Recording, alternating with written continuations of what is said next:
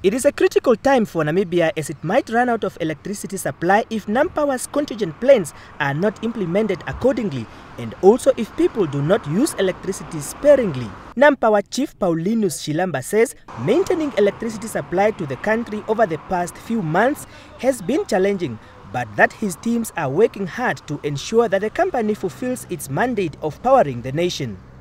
It thus plans to spend about $13 billion on three projects to supply power to the country until 2018.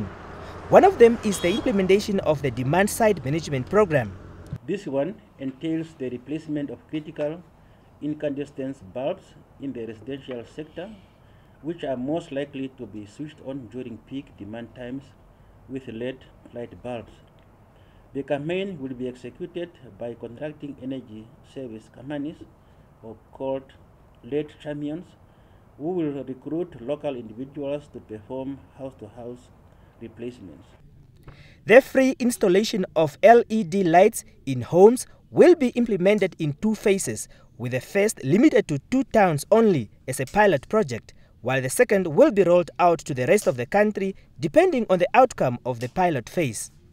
Otjiwarongo will be one of the towns where pilot projects will be implemented. The benefit of this campaign is the reduction of the lighting load during peak demand times, as well as the stimulation of the local energy efficient lighting market.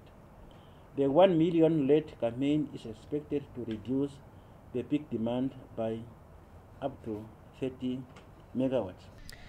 Nampower also plans to cooperate with banks and other financial institutions in replacing 20,000 electrical water heaters with solar water heaters in homes through a rebate initiative. Negotiations with large customers for access to their standby diesel generators to support electricity demand during peak and emergency periods are also underway.